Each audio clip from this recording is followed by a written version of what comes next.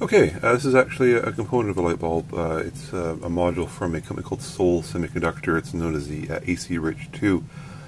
Uh, it's part of a class of uh, subassemblies for AC LEDs, are known as. Now, the LEDs aren't AC. what refers to the fact that this module accepts 120 volts AC directly without any other components. there's no transformers, resistors, or capacitors in the assembly, just simply a, a semiconductor here. Now, it's interesting because uh, the CFL market um, degraded to the point where most bulbs uh, were built for the lowest possible cost, and um, the LED bulb market go the same way, this is a pretty good example of what might happen uh, because one can't imagine a simpler circuit. Uh, in fact, when you look at the app note uh, in terms of what needs to be put on for that bulb, um, it's truly just simply this uh, single, single semiconductor. the string of LEDs is required and an AC input, so as simple as one could make. So to give a good sense of uh, how simple this assembly is as compared to a more conventional uh, approach, this is a uh, obviously a GU10 110 volt um, bulb, and uh, we'll just take it apart to uh, see what's inside the base here.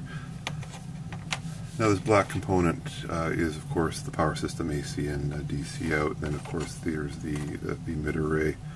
So essentially the value proposition of this particular approach is that this single integrated circuit replaces uh, this entire assembly here. Okay, let's talk about flicker.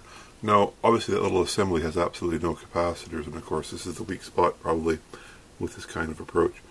I put the emitter array on a little stand here, and obviously it's shining against the solar cell. And um, the solar cell, of course, converts light to electricity, and that will result back in a waveform on the oscilloscope. Uh, you can see very high, uh, peak to peak 1.6 volts. Uh, this is, of course, the greatest flicker I've actually measured in a long time.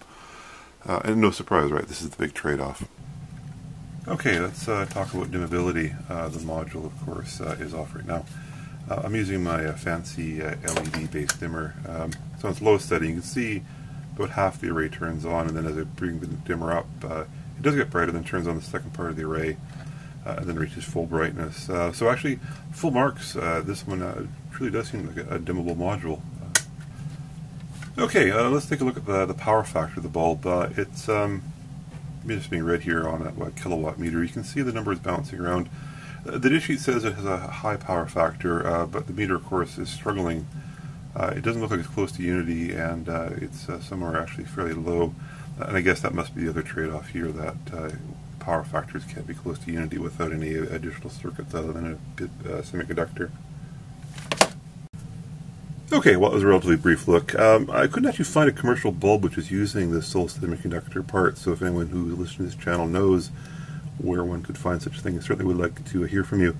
Uh, clearly, the substrate's been designed to fit into a, a GU10 or MR16 type body.